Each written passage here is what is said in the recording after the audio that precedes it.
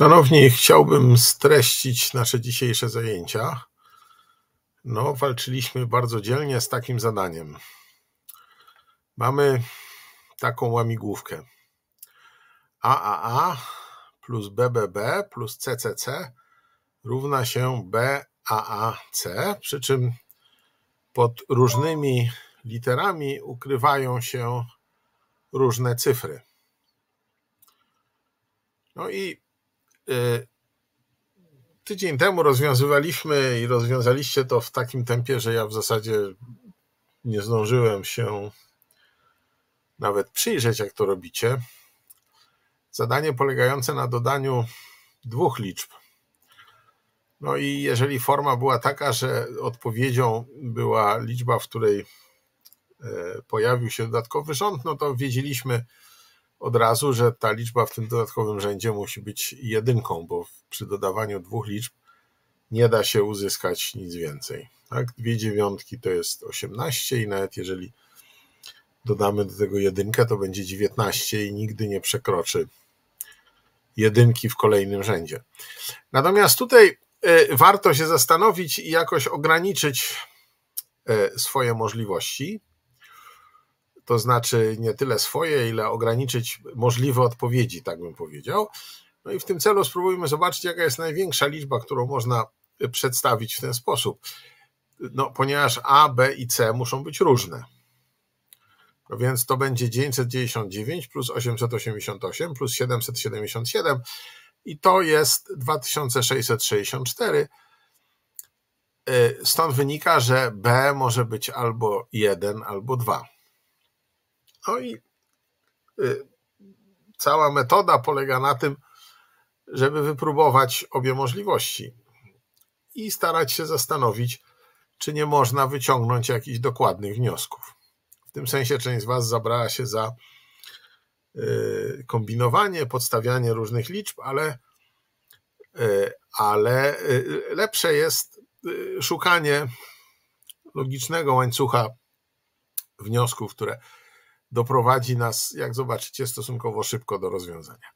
No to załóżmy, że b jest równe 1, no to mamy taką postać, tak? Za b podstawiamy 1 i wychodzi tyle.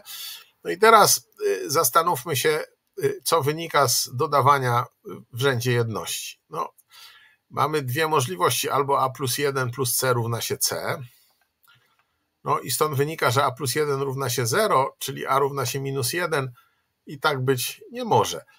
Tylko jeszcze, dlaczego to C zniknęło? Otóż równanie to jest taka waga, e, na której po lewej stronie są odważniki o wartościach, na lewej szalce są odważniki o wartościach stojących po lewej stronie równania, a na prawej odważniki o wartościach stojących po prawej stronie równania. No i ta waga jest w równowadze, ten czerwony znak równa się ma o tym świadczyć.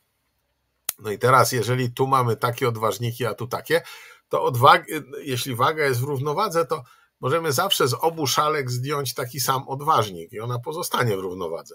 Albo do obu szalek dodać jakiś odważnik, ona też pozostanie w równowadze. No więc tutaj odejmujemy od obu szalek odważnik o wartości C, odważniki o wartości C, o tej samej wartości, no i na lewej szalce wagi pozostaje A plus 1, a na prawej nie pozostaje żaden odważnik, czyli 0, stąd a plus 1 równa się 0 i a równa się minus 1. No ale tak być nie może, bo a nie może być minus 1, to są cyfry od 0 do 9. W związku z tym e, druga możliwość to jest taka, że mamy do czynienia z przeniesieniem, czyli a plus 1 plus c równa się 10 plus c. No i tak samo tu będzie 10 plus c, ale znowu od obu szalek, z obu szalek wagi możemy zdjąć odważnik o wartości c i dostaniemy, że a plus 1 równa się 10, czyli a równa się 9. No jeżeli tak, no to możemy zapisać to teraz w ten sposób i cały problem polega na wyznaczeniu c. No i to można zrobić znowu analizując analizując to, co się dzieje w rzędzie jedności i to, co się dzieje w rzędzie dziesiątek.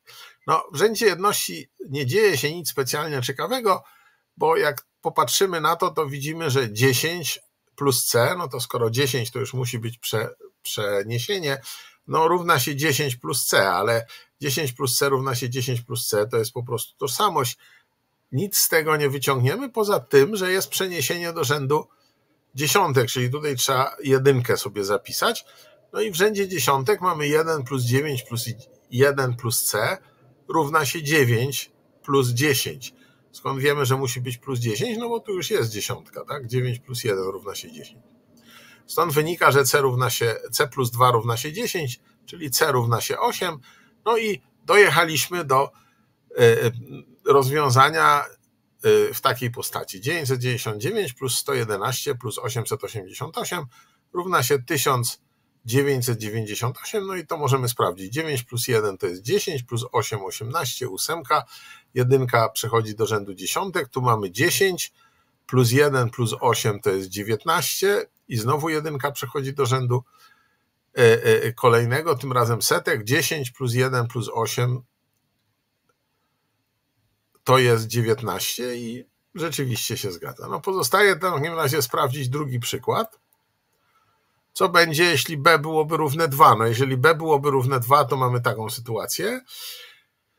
No i wtedy analogicznie Analogicznie y, w rzędzie jedności dostajemy, że a plus 2 plus c równa się 10 plus c, czyli a równa się 8. No, podstawiamy za a ósemkę, no i co widzimy? Widzimy, że wychodzi liczba, która jest 2880 i coś, no ale to jest niemożliwe, dlatego że największa liczba, którą można stworzyć z takich trzech różnych trzycyfrowych liczb, z których każda jest z jednej, y, stworzona z jednej cyfry, to jest 2664, czyli mniej niż 2880 coś. A zatem to rozwiązanie y, dla b równego 2 rozwiązania nie ma i jedynym rozwiązaniem naszej zagadki jest takie dodawanie. Dziękuję bardzo.